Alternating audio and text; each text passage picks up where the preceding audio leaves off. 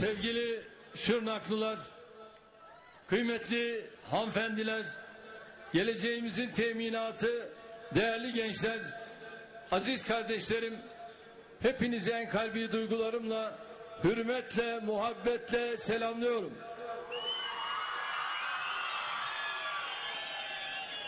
Nuh Nebi'nin ad verdiği diyarsın. Usul erkan bilir, hatır sayarsın. Has bahçesin, gülistansın, gülzarsın. Senin güzelliğin sayılmakla bitmez Şırnak.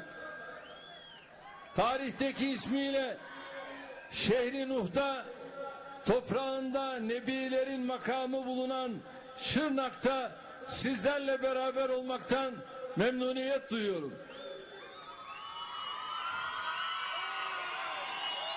Bu şehir dünyanın en güzel sevda hikayelerinden birine memuzine ev sahipliği yapan yerdir. Yavuz'un emaneti Şırnak dağlarıyla, nehirleriyle, vadileriyle en önemlisi insanıyla bugün yine bir başka güzel.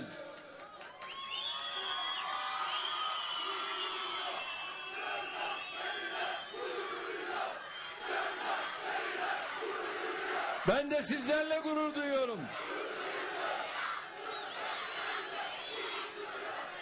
Maşallah. Bin yılı aşkındır.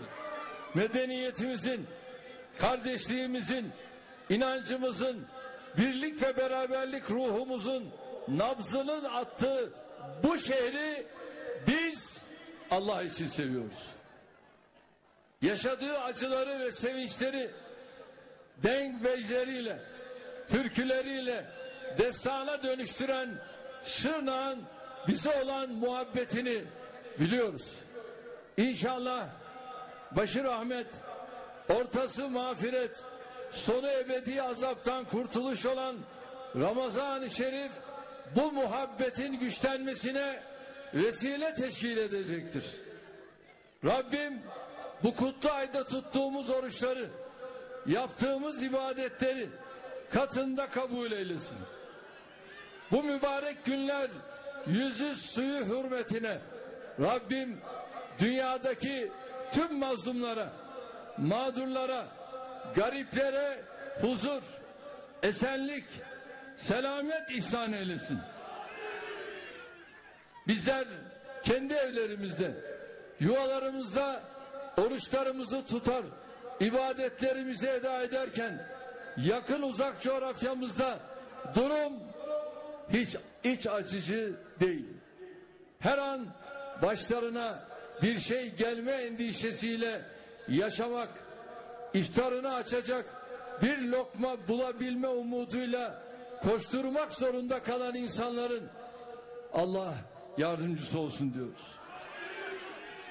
Sahip olduğumuz huzurun, güvenin, sağlığın, nimetin şükrünü ifa etmek için Ramazan ayı önemli bir fırsat.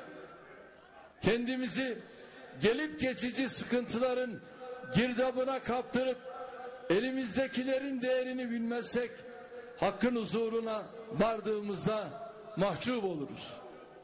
Çoğu yalan yanlış haberlerle milletimizi karamsarlığa sürüklemek isteyenlerin amacı eleştirdiklerinin yerine daha iyisini koymak değildir.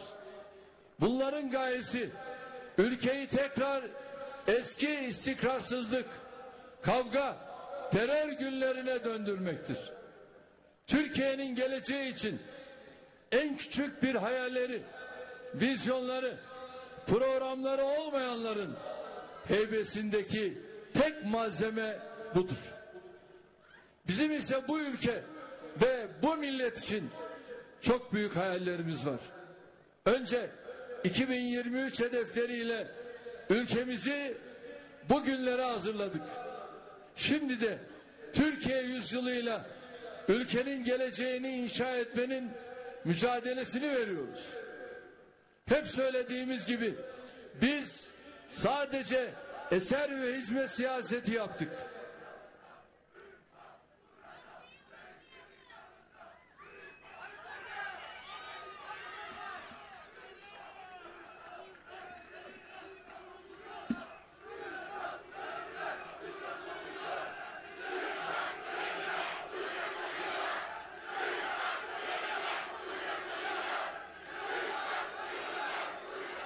Gençler geçtiğimiz 21 yılda vatan topraklarının her karışına terimizi akıttık. Ülkenin her bireyinin hayatına olumlu yönde dokunduk. Yaptığımız hizmetlerin en yakın şahitlerinden biri de Şırnak'tır.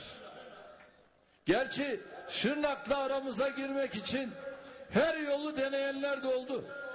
Sadece Şırnak'la değil, bu bölgenin tamamıyla bizim ve ülkemizin bağını koparmaya çalıştılar. Halbuki kalpsiz bir vücut olur mu? Şırnaksız, Mardinsiz, Diyarbakırsız bir Türkiye'de olmaz.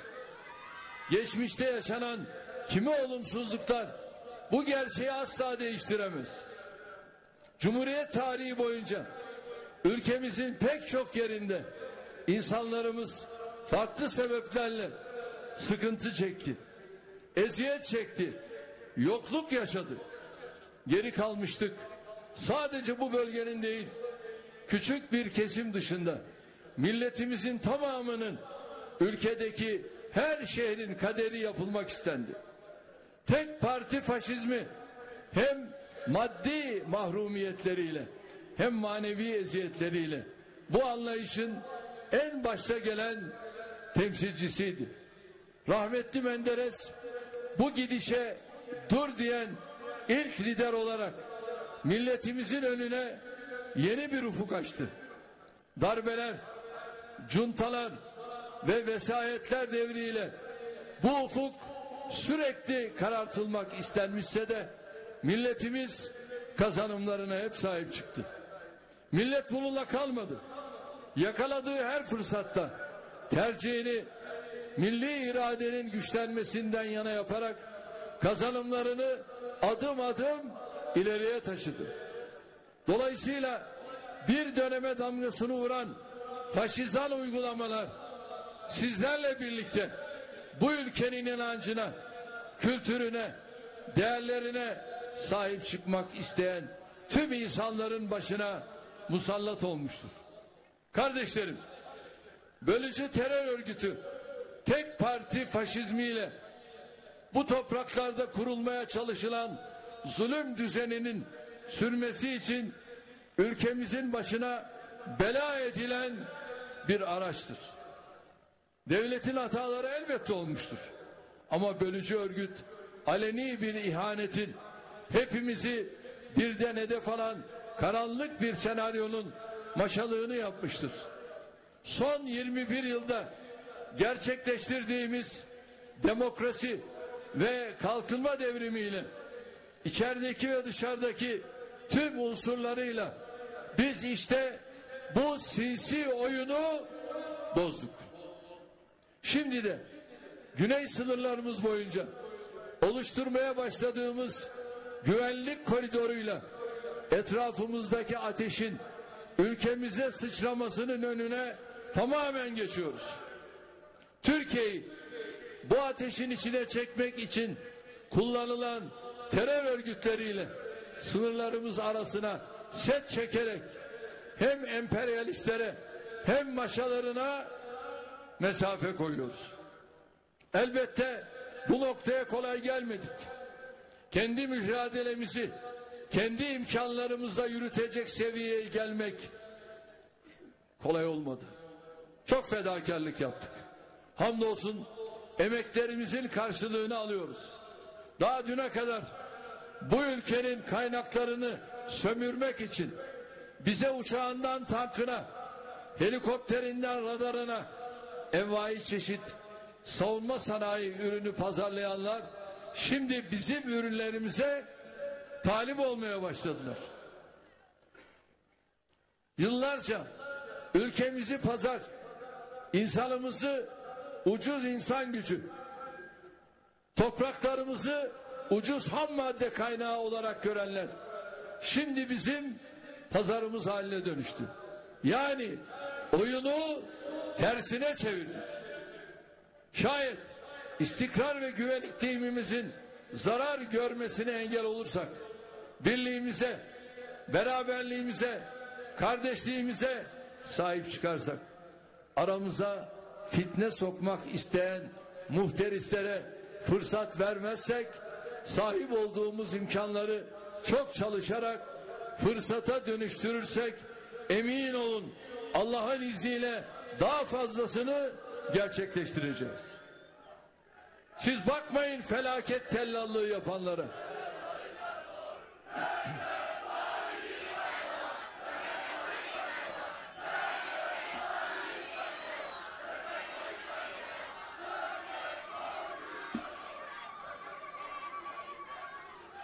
Türkiye'nin önü de ufku da bahtı da açıktır.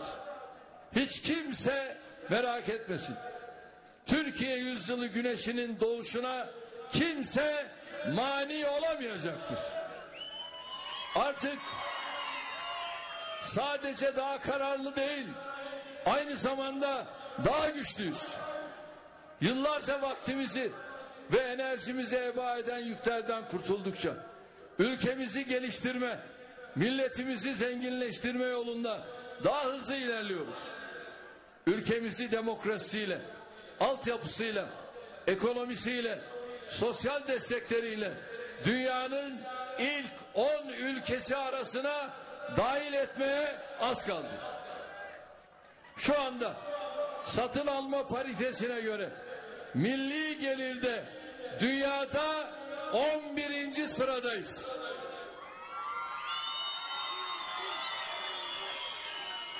Biraz daha gayretle, çalışmayla, üretmeyle inşallah bu işi başaracağız.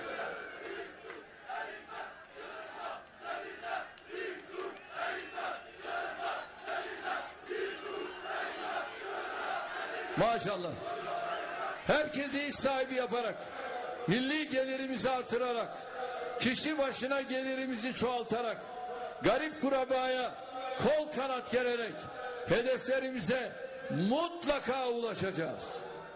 Mahalli idareler seçimlerinde sizlerden desteği, bu mücadeleyi tüm şehirlerimizle birlikte vermek için istiyoruz. Bilhassa Şırnak'ın desteği bizim için ayrı bir öneme sahiptir. Şimdi buradan öyle bir ses verin ki Cudi Dağı'nın zirvesinden bile duyulsun.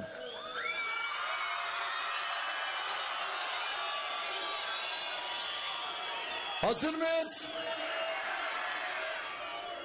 Hazır mıyız? Şırnak, Serhat şehrimiz Şırnak, tarih ve medeniyet şehri Şırnak, 31 Mart'ta Türkiye yüzyılı şehirleri için hazır mıyız? 31 Mart'ta Türkiye yüzyılı şehirleri için kararlı mıyız? 31 Mart'ta gerçek belediyeciliği tercih ediyor muyuz? Bunun için seçim gününe kadar ana kademe kadın kolları ağlıyor. Ağlamak yok. Gençler seçim gününe kadar kapı kapı dolaşmaya var mıyız? Kadın kolları var mıyız? Şırnak'la birlikte Türkiye haritasının tamamını Cumhur İttifakı'nın renkleriyle boyamaya var mıyız? İnşallah sizlerin bu desteği sayesinde Ramazan'ın bayramı gelmeden 31 Mart'ta Milli İrade Bayramı'nı kutlayacağız. Gönlümüzün sultanı Şırnak'ın bu konuda bize vereceği destek ayrıca önemlidir. Seçime az kaldı. Bunun için hep beraber gece gündüz çalışacağız.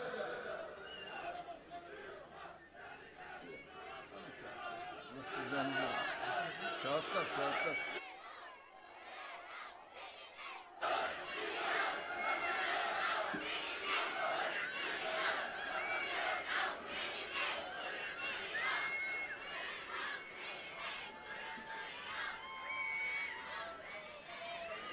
Söz aldım sizden. Söz mü? Söz mü? Söz mü? Rabbim hepinizden razı olsun. Kardeşlerim, eser ve hizmet siyasetimizin en somut örnekleri şehirlerimize yaptığımız yatırımlardır. Biz bu anlayışla Şırna ne kadar yatırım yaptık biliyor musunuz? 100 milyar lira kamu yatırımı yaptık. Eğitimde 4244 adet yeni derslik inşa ettik. Şırnak Üniversitesi'ni şehrimize kazandırdık. Gençlik ve sporda 2476 kişi kapasiteli yüksek öğrenim yurtları açtık. 4 gençlik merkezi, Şırnak Şehir Stadyumu ile 38 spor tesisi yaptık. Ayrıca 10 bin kişilik Cizre Stadyumu yapımı için şu anda ihale aşamasındayız. İhtiyaç sahibi vatandaşlarımıza toplam 10 milyar lira tutarında kaynak aktardık. Sağlıkta 545 yataklı 8'i hastaneden oluşan toplam 64 sağlık tesisini şehrimize kazandırdık. 517 yataklı Şırnak Merkez Devlet Hastanemiz ile Silopi Kadın Doğum ve Çocuk Hastanesi ek binamızın inşaatına devam ediyoruz. TOKİ aracılığıyla Şırnak'ta bugüne kadar 11.111 konut yaptık. Görüyorsunuz.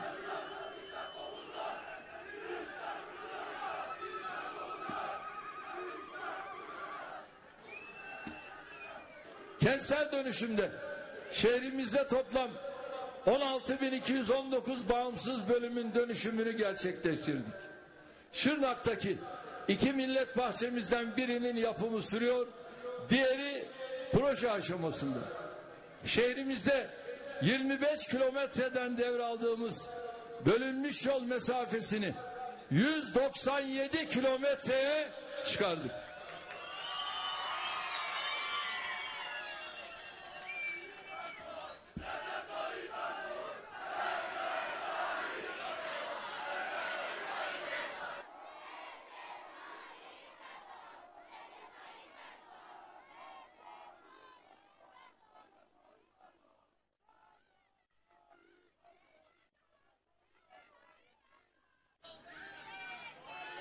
Silopi Habur yolunu, Cizre ve Silopi çevre yollarını yaptık.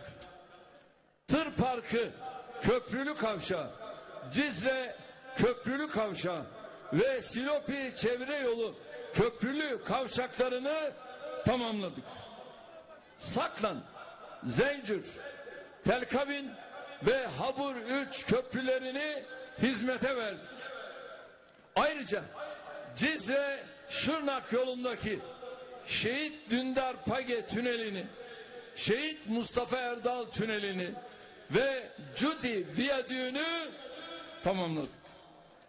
Şırnak Ortaba Çığlı yolunda Ballı tüneli, İnceler tüneli, Ortaba 1 ve 3 tünelleri hizmete girdi. Görüyorsun. Nasıl biliyorum bunları?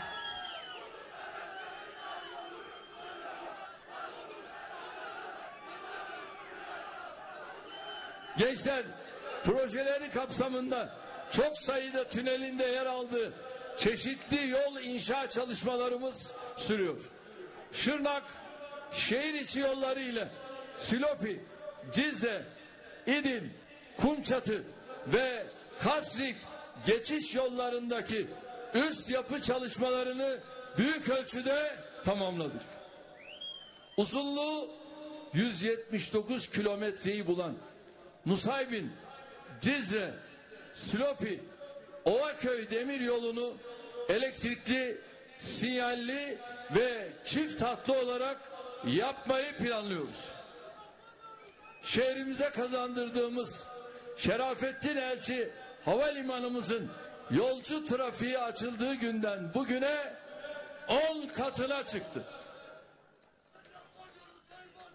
Şırna son 21 yılda 7 baraj, bir sulama tesisi, 40 taşkın koruma tesisi ve 6 hidroelektrik santral inşa ettik.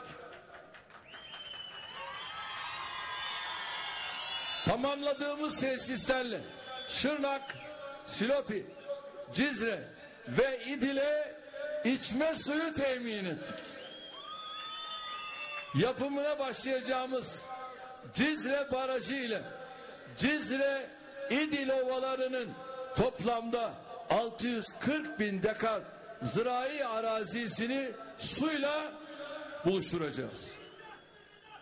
Planlama çalışmaları süren Nerdüş ve Şenova barajları ile Bazamir göletini inşa edeceğiz.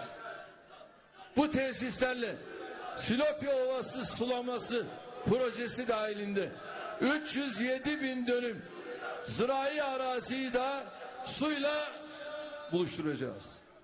Şırnak'ta çiftçilerimize yani bana böyle zılgıt atmayın.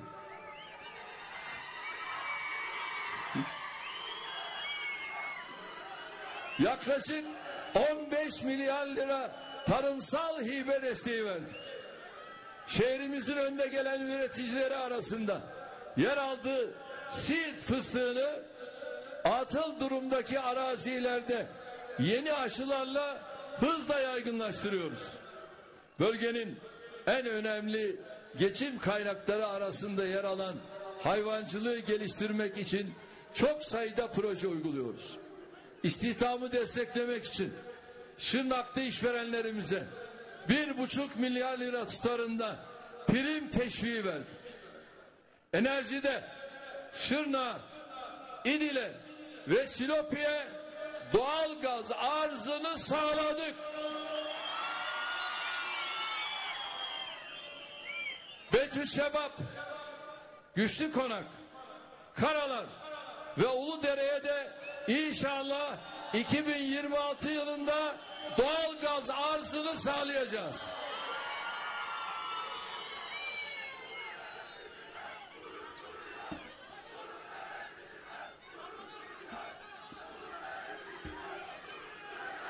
Ben de sizlerle gurur duyuyorum. Şu anda Gabar'da günlük petrol üretiminde nereye vardık biliyor musunuz? 37 bin varili geçmiş durumdayız. Hedef 100 bin varil. Buralar uçacak uçacak. Uçacak. Bu ay sonuna kadar günlük 40 bin varili geçmek. Yıl sonunda da 100 bin varil üretime ulaşmayı hedefliyoruz. Kato Dağı ve Faraş'ın yaylası da yeni petrol arama alanlarımız arasına girdi. Boş durmuyoruz. Çalışıyoruz, çalışıyoruz. Hayata geçirdiğimiz yatırımlarla Şırna madenleriyle, jeotermaliyle, güneşiyle, rüzgarıyla ülkemizin önde gelen enerji üstlerinden biri yapmakta kararlıyız. Daha düne kadar terör yüzünden kimsenin giremediği yerlerde bugün insanlarımız huzur içinde yaşıyor, geziyor, dolaşıyor. Hatta Gabar'daki Süryani vatandaşlarımızdan Beytül Şebap'taki Keldani vatandaşlarımızdan köylerine geri dönenler oldu. Vatandaşlarımızın rahatı için yaylalara, mesire alanlarına içinde her türlü ihtiyacı karşılayacak tesislerin yer aldığı dinlenme alanları inşa ediyor, yollarını yapıyoruz. Bir dönem adı korkuyla anılan cehennem deresinde cam ve ahşap seyir terasları, yürüyüş parkurları kuruluyor. Nereden nereye? Şırnak giderek daha yoğun bir şekilde ülkemizin önemli turizm destinasyonları arasına giriyor. Sordum. Şu anda alanda ne kadar katılım var? Ne dediler biliyor musunuz? 25 bin. Zaten yol boyunca maşallah gümbür gümbür vatandaşlarım, Şırnaklı kardeşlerim bizi karşıladılar. Şimdi isterseniz şehrimize yaptığımız hizmetleri şöyle görüntülü olarak ekranda izleyelim. Biz bu ülkenin her köşesine, her insanına muhabbetle bağlıyız. Şırnak'a kazandırılan Şerafettin Elçi Havalimanı'nın kapasitesi ve yolcu sayısı her geçen gün artıyor. Şırnak şehirler arası otobüs terminali ise şık ve modern bir anlayışla inşa edildi. Organize sanayi bölgesinin ve Şırnak ekonomisinin gelişimi için yatırım ve prim teşvikleri verildi. Kentte doğal gazı yaygınlaştırmak için çalışmalar sürüyor. Şırnak'ı samimiyetle sevmekle kalmadı. Aynı zamanda tarihinde görülmemiş hizmetlerle Şırnak'ı buluşturduk. Şırnak'ta atık su arıtma tesisi, barajlar, içme suyu tesisi, sulama projeleri hayata geçirildi. Şırnak'ta tarımın ve hayvancılığın gelişmesi için destekler verildi. Gençler, kızlar Türklerin sizi solladı. Şırnak, Türkiye yüzyılı hedeflerine doğru gelişerek yürümeye devam edecek. Bu topraklarda söylenen türküler bize can olmayı, canan olmayı, candan olmayı öğütler. Şırnak kadim şehirlerimizin en kıdemlisidir. İnşallah 31 Mart'tan sonra bunlara yerel yönetimlerle işbirliği içinde çok daha fazlasını ekleyeceğiz. Cumhurbaşkanıyla, bakanlıklarıyla, belediyeleriyle el ele vererek Şırnağı bölgemizin ve ülkemizin önde gelen üretim ve istihdam merkezlerinden biri haline getirmek istiyoruz. Bunun için şu üç hususta sizlerin desteğine ve katkısına ihtiyacımız var. Öncelikle terörün bir daha bu topraklarda tutulamamasını sağlayacağız.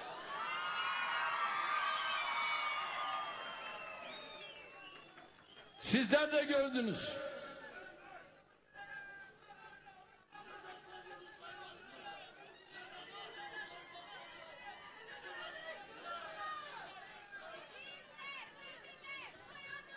Sizler de gördünüz. Terör varsa ne yatırım oluyor, ne iş oluyor, ne huzur oluyor, ne muhabbet oluyor. İkinci olarak şehrimizin imkanlarıyla ülkemizin hedeflerini örtüştürüp doğru ve gerçekçi adımlarla Şırnak'ı kalkındıracağız. Üçüncü olarak sizlerin ve evlatlarınızın güvenli ve müreffeh geleceği için zihinlerinde hiçbir program, yüreklerinde hiçbir heyecan olmayanlara iradenizi teslim etmeyin. Onları kendi ağ babalarıyla baş başa bırakın ki gerçek çapları ve yüzleri ortaya çıksın.